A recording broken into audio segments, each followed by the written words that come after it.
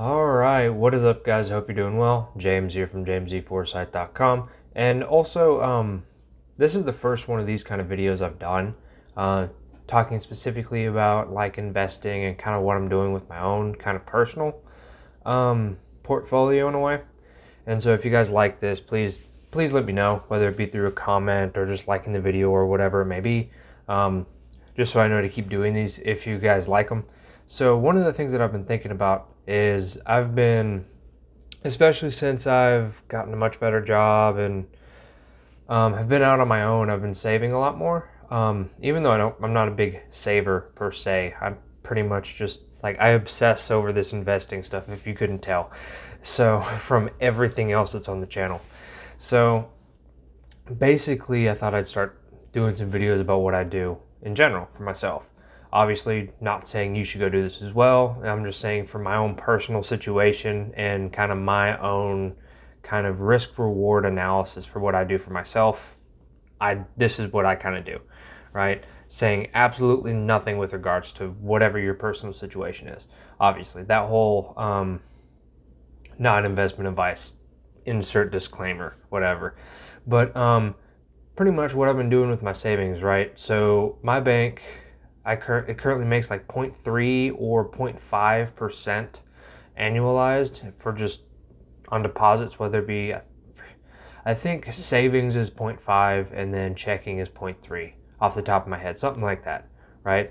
And so I was like, okay, well, pretty much the only reason why I would have a bunch of savings is at this point, um, if I have to like buy a new car or something like that excuse me, but like something like something of that effect, like that kind of expense. And so I was thinking, you know, if I don't need that right now, so why don't I just put it into some other kind of equivalent, right? Instead of having it as a commercial bank deposit or cash or whatever, some cash equivalent, right? Why don't I move it around? Right? And so I brought up the yield on my uh, savings account, right? Just so to kind of compare it to what I ended up doing.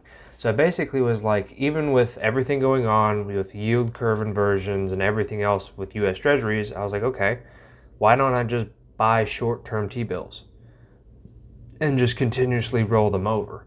And now, granted, keeping in mind in my situation is like, if I need to go buy a car, okay, well, because there's multiple factors that I was thinking about on putting this in, right? So I have to deal with interest rate risk. What if interest rates go up or down um, significantly? And I was betting that, or I'm, I believe, I guess, if um, even if interest rates skyrocket or just tank, right, on short-term T-bills, one, I don't think they would move that far.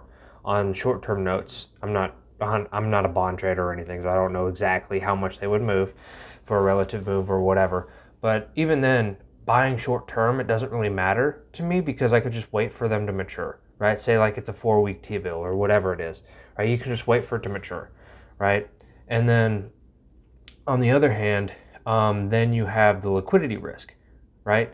Basically, or at least I don't know if that's an actual term. That's how I'm terming it, right? So it's the actual liquidity that I'd have, right? So I can't have that money in four weeks. Obviously, it's a marketable security, so I could sell it if I needed to.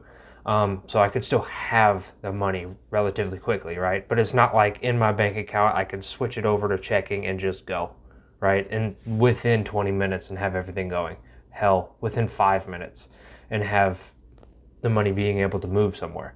Um, I'd have to do a little bit more steps, which is why I'm not doing it with all of my savings, right? It's just basically just keeping enough of my savings in there to be able to take care of, say, a car or something. Um, or some large expense to where it's literally like I need to do this now. And this is not, and by savings I'm talking about just in commercial bank deposits. So this isn't talking about like a uh, the cash you have in a safe or something like that, or any precious metals you have, that kind of stuff. That's completely separate category in terms of kind of a personalized portfolio or whatever. I'm just talking about purely what's in the bank account. I don't really see a point in it just sitting there getting 0.3 to 0.5% for whatever.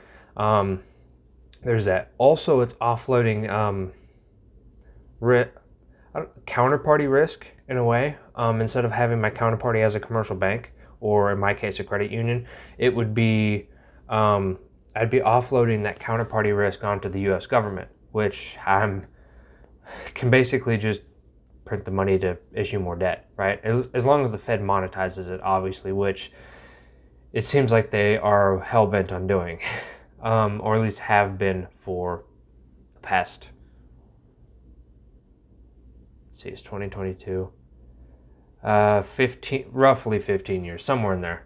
Quick math. Um, obviously not a straight number, but you get you get what I mean. So basically, that was kind of more of the idea I had was even then like because if you buy them straight from the treasury like or through treasury direct or whatever you can get them deposited straight into your bank account whenever it matures. So it's like you don't really have to do anything else.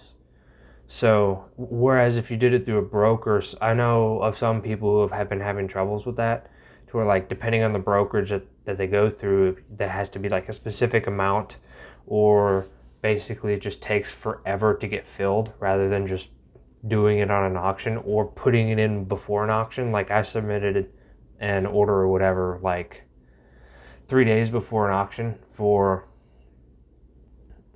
uh, for the T bills, and it's one of those. Yeah, I know the interest rate might move before the auction, but it's also like even if it starts to go down, it's like the odds of it going below 50 basis points by then, I think is worth it. And even if it does, then in four weeks it rolls over back into the bank account and it just stays there. Like it's one of those, um, not really any harm, at least not that I can think of. So that's kind of my thought process on this. Um, probably didn't articulate it the best way. Um, but yeah, it's just one thing that I've kind of started to do with, I guess you could say excess savings. I don't know if by, by defining savings, there's not really an excess in a way, um, but just kind of keeping it separate to where I have enough to basically, if I need to buy a car like outright or whatever, I won't be able to do it like all in cash, but I'll have enough to basically, you know, like do the down payment and then whenever the treasuries mature, I can basically just pay it off, right? And so that's not really a problem. Or but the odds of that happening who knows, but I don't de- I deem them to be rather low right? Given my situation and with the specific to the car example with how my car is personally right now. So keeping that in mind, right? So I just thought I'd try something new, do a little bit different a video. And also if you guys have any other questions or whatever, feel free to comment them, like the video, subscribe, do all that jazz. Um, so that's in there. But yeah, I'll put in a few more of these types of videos, kind of generalized and just yeah, if, if it, see where it goes. That's kind of the whole point of this playlist specifically is just kind of seeing where it goes for this one in this respect. Anyways, I'm going to leave it there. So I hope you guys have a good night and I will see you on the next one.